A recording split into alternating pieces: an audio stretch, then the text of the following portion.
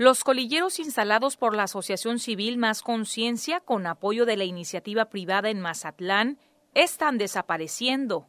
Sofía Trejo Lemus, directora de este organismo civil, informó que hasta el mes de diciembre tenían contabilizados 34 colilleros en diferentes puntos estratégicos de la ciudad y en el último recorrido realizado contabilizaron menos de 20.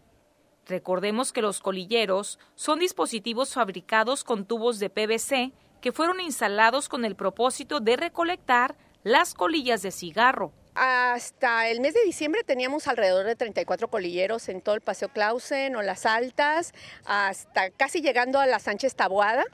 Este, y sí, hemos estado haciendo limpiezas periódicas y cada que nosotros limpiamos los colilleros logramos rescatar pues más de 3.000 colillas, ¿no?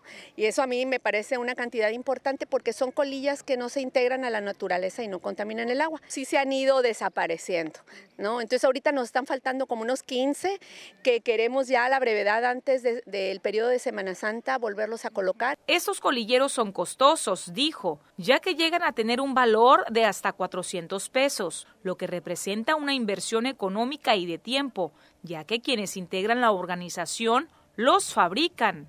Aunque recientemente se dio la reforma a la ley antitabaco que prohíbe fumar en espacios públicos, mientras se aplica, pidió a las personas fumadoras que depositen las colillas de los cigarros en los colilleros. Se supone que ya está prohibido fumar ah, en la playa y en todos los lugares públicos, este, pero bueno, mientras se asigna un presupuesto y se designa a las personas que van a estar monitoreando que las personas pues no fumen y no tiren sus colillas, pues yo les pido a los, a los usuarios de, de los cigarros que tengan la amabilidad de colocar las colillas en los colilleros. Por eso hemos colocado un montón. Están desde, eh, desde donde empieza el Paseo Clausen, eh, del lado del, faro, todo las altas hasta la Sánchez Taboada y tenemos otros dos eh, donde están en la cabina de descanso de los pescadores de Playa Norte. Trejo Lemus dijo que ya se tienen detectados otros puntos de la ciudad donde se requieren instalar colilleros. Precisó que a las afueras del Seguro Nuevo